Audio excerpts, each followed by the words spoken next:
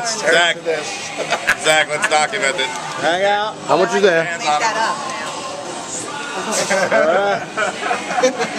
Nice. I'll take that. Thank Oh, you. yeah.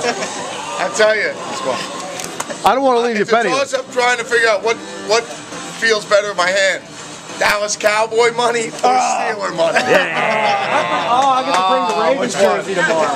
I don't know. I, It's pretty. this is probably going to be one of the best cups of coffee I've ever gotten from Starbucks yet. That Steelers cup of coffee was awfully good after that Ravens loss. I mean, Wow. That was tough. You benefit more from the That was a Cowboys, tough that's one. for sure. Yeah, it's, it's, it's, it's Thank you. much more fun with Dallas. Who does Dallas play this week? Does it matter? Uh, play the Redskins. The Redskins. Play the Redskins. Destroy the Redskins.